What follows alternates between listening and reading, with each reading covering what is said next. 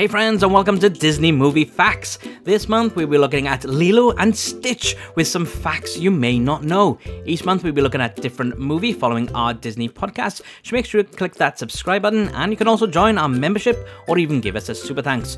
We would greatly appreciate it. With all that out of the way, let's get to it.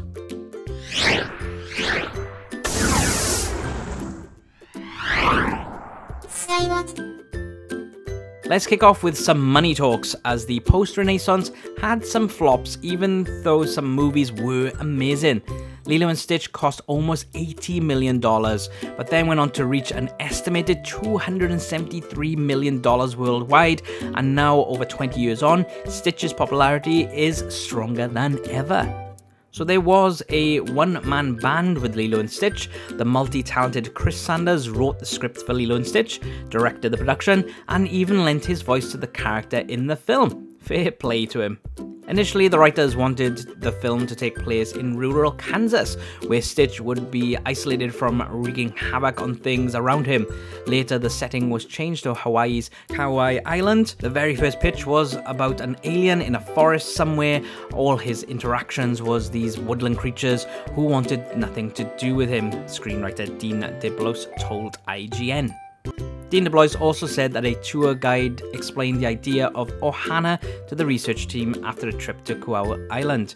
He said, and I quote, It was always going to be about family and this destructive force coming into a frail, crumbling family and just accelerating its destruction, but then being affected enough by the idea of a family that he could transform in the end. But it wasn't until we went to Hawaii that we were exposed to the idea of Ohana, and that's something that Hawaiian people carry around with them.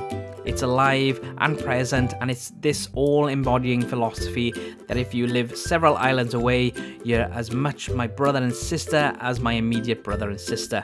End quote. Now, I actually love that. Great to include the culture after their visit. But that's not all for the cultural inclusion for this movie. The voice actors for Nani and David, Tia Carrere and Jason Scott Lee, helped rewrite the Hawaiian characters' dialogue to include Hawaiian colloquialisms and slang. Carrie is a native Hawaiian and Lee was raised in the state. We're about halfway through our video, but just wanted to remind you that we do Disney Plus videos every week, as well as different Disney inspired videos on Saturdays, which include podcasts, movie facts, news, and Disney park tips.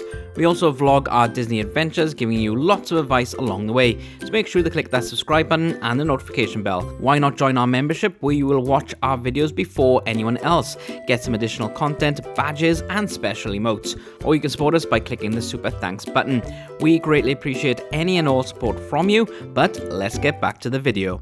This movie came out after the tragic events of 9 11. One of the scenes needed to be drastically changed. The scene with Stitch and Jumba flying a spaceship through Kauai to escape the capture was completely redone after the 9 11 attacks.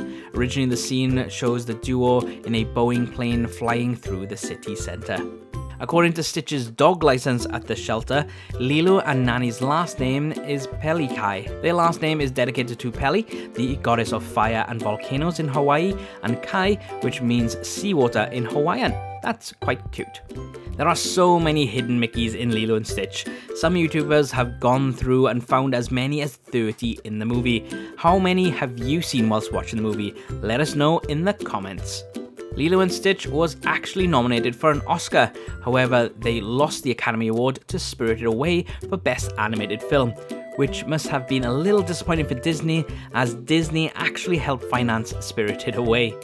Finally, there are a few cameos in the movies, including the directors, as well as a Mulan poster and a Dumbo stuffed toy. Did you see any more? Well, you know what to do. But that is it for these little facts about Lilo and Stitch. Let us know in the comments if you know any more that people might not know. Don't forget to check out our DCast for more facts and opinions on the movies. And make sure to hit that subscribe button for much more Disney content. But until next time.